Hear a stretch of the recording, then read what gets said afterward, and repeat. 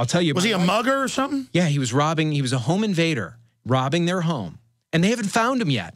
So they're talking about how great it is that she. Well, you come in my house, you're dead. In fact, I'll show people on air right now. And people are so scared of firearms. I mean, you come in here Hey, trying to kill people, yeah. it's over. Well, you guys we got a bunch of here, right? You can carry it. Yeah, we got a bunch of guys that are armed back I there. think it's great. But I mean, what's the big deal? Yeah. I mean, uh, the criminal's going to have a gun anyways. What is that? A forty-five? This, this is 357. Nice. I mean, I only have this because even though I'm a good shot and good with you know like more complex firearms and semi-autos, under stress, Yeah. I mean, with this even short barrel, a medium barrel, I can shoot a man-sized target at 7,500 yards.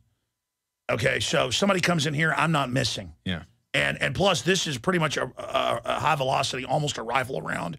So this is one of the most deadly rounds out there for a Do you much better what would happen if you whip that out in Chicago in a mall, you know, or you had it in your studio? If you were in Mancow studio, you took it out, people would crap their pants. It, But it- if they saw the government with it, they'd be feel safe. right, right. There's nothing wrong with that.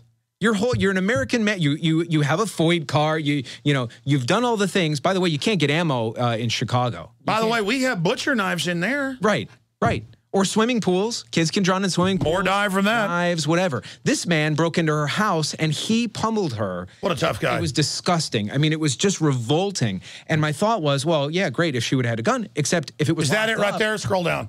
Yes. Oh God, it's terrible.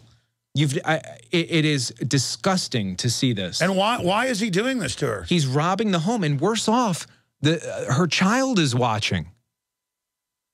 And and if you have a gun, great. But if you have it locked up and you don't have ammo close by, you still can't do anything. This man, Did we post this on it's Infowars.com? unbelievable. And he keeps coming back. This guy is a complete lunatic. And then he throws her down the stairs. She's you, here's the miracle of miracles. She's alive.